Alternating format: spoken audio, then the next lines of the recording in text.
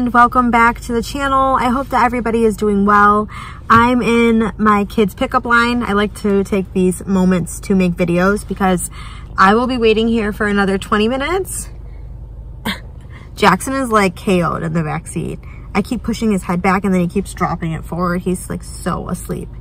Um, so I thought I, you know, I might as well take the opportunity to hop on here and make a video I've been making a list of topics that I want to talk about with you guys. I have so many ideas. I, there's literally not enough time in the day to keep up with all of my ideas and all of my interests and my hobbies. It's just overwhelming sometimes. But I've been making a list of videos that I want to make. And one of them I can do in this type of setting is discussing how I was successful in FNP school, what I did to be successful in my studying and in my learning. So I'm just going to kind of go over some tips I have for you guys, what I did and what I think ultimately helped me be successful in my program. So number one, and this is huge, I would really recommend that with each class, you read the syllabus thoroughly. Really comb through your syllabus. Write down any test dates, any due dates for any assignments in a planner, and I even recommend that you color code your planner based on different classes.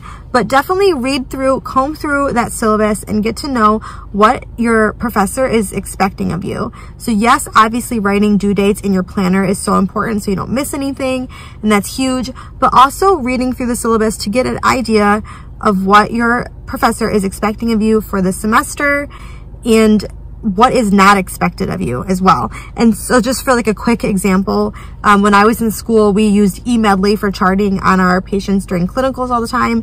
You may or may not be familiar with it. Um, it might be coming up in your program depending on where you are in your program. But that was the charting system that we used for when we would see patients during our clinical year.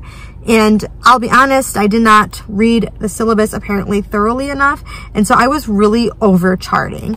I was doing like a full HPI review system exam, um, diagnosis, treatment plan on all of the patients that I was seeing probably for almost my first semester of clinicals. And come to find out that was way more than was expected of me. Really all that they wanted was like a couple diagnoses and like demographics and stuff. Um, so I was really overdoing it. And had I like taken my time and read more thoroughly through the syllabus, I would have caught that and not been doing more work than was expected of me. And, you know, Lord knows that you don't have time to be doing more work than needed in the program, especially if you're working. So just really read through thoroughly, figure out what texts that they require for you to have. A lot of times they might tell you like where they get their testing questions from, whether it be their PowerPoint presentations or the textbook or both. They usually will either put it in the syllabus or tell you um, where they get a lot of their test bank questions from. And then obviously, like I said, you'll find out what's expected of you from your professor, what's not expected of you, and the due dates, because you obviously do not want to miss any due dates. That being said, I think if you do miss a due date for whatever reason, don't write that off as a zero. Obviously, try and email your professor and see that you can't at least get partial credit for your assignment, if not full credit, and just let them know your situation. Never, never don't try.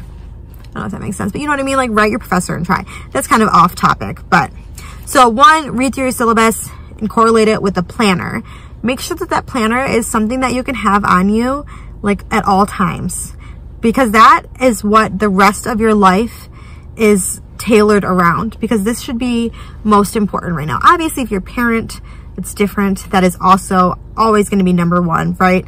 But that being said, hopefully otherwise you can make your program number one in your life with social events or with family or with work really because this is a huge career goal and a lot of money that you're investing and a lot of time that you're investing. So this really should be the center of your world for the next two years. Um, so make sure that you have that planner on you and that you're using it, you're referencing it, you're checking it daily um, to make sure that you're not missing anything and that you're not taking on more than you can chew.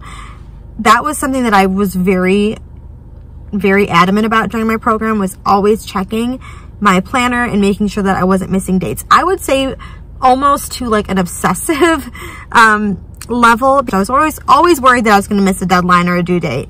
So I mean, hopefully you're not that extreme, but I do think that it's really important to stay on top of your dates and do every now and then check online to make sure there have been no changes to any due dates. All right, so next up, how did I help myself to retain the information that I was learning. So right away, my professors pretty much told me that a lot of what they tested from was in fact from their lectures. And so I knew that I was going to heavily focus my attention on their lecture material.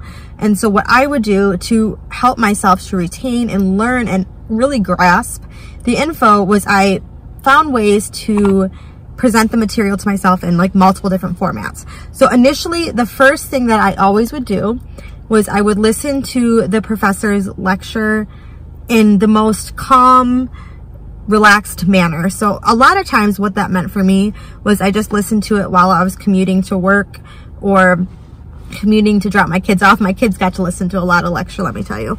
But um, yeah, I would listen to it in a very calm setting. I wasn't taking notes. I wasn't, you know, flipping through a textbook and reading. I was just listening and absorbing the material.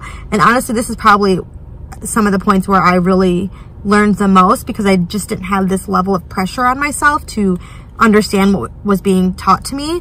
And so I would listen to it first in that type of setting, whether it be commuting, whether it be while I was working out, whether it be if I put headphones in and I was cooking dinner and I was listening to it in that way.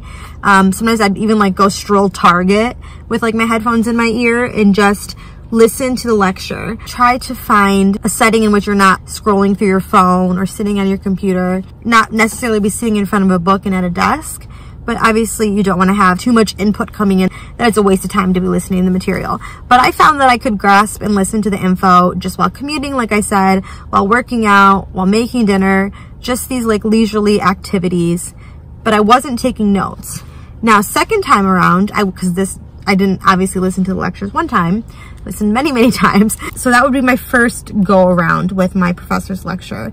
And then I would actually sit down and prepare to take notes the second time that I would listen to the lecture. And this time I would actually print out the PowerPoints that the provi um, not the provider, the professor provided to complement her lecture or his lecture. And so I would print those out and I would make sure that there were ample space to take notes. And then I would highlight material, those areas that I knew I needed extra work with. And then obviously I'd go back through my notes and I look through what I highlighted and I would find another resource to research more. So whether it be the textbook that was accompanied the class, but I'll be completely honest with you, in all of the classes that I took, I really used mostly my provider, or not my provider, huh?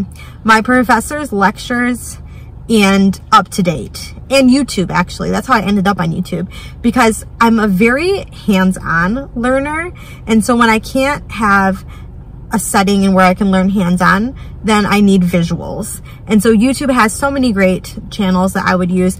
I can't think of the names off the top of my head, but I'll put some, maybe I'll like link some in the comments below if you're curious to see some of my favorite channels that I was using for study purposes. Because like I said, I'm a visual learner and that just was another great way to get the information into my brain. On the topic of YouTube, because I did use that resource a lot for learning, and that's how I obviously got into creating my own channel.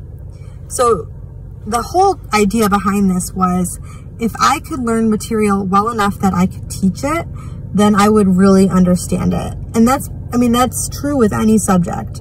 If you are able to teach someone else the material from like a foundational level, then you really have a good grasp on the concept. So if there are topics that you find particularly difficult for you, make the goal to be able to teach it to somebody else. So have like a loved one or a family member or a friend or someone and say like you're struggling with oh God, um, acute otitis media, just something that's top of my head. And find a way to explain it diagnose it, treat it, teach this to somebody else and see that you don't begin to have a deeper level of understanding of whatever. I don't know if that was a great example. That was something that I used so much was teaching and my husband, God bless him, fell uh, victim to this quite often. I mean, that in a in a nutshell is what I did to be successful in my program. That being said, I mean, at this level, you definitely have to be very self-disciplined. Obviously, you have to want it. There's other, otherwise there's no reason. I'm still thankful that I did um, continue my education. I feel like it's opened up a lot of doors for me. If I ever wanted to do bedside nursing again, if I lost my mind and I never got, you know, then I could go back. but and I will always be a nurse at heart, but bedside nursing is so hard. It's weird because I still have these moments where I'm like, kind of miss being a nurse.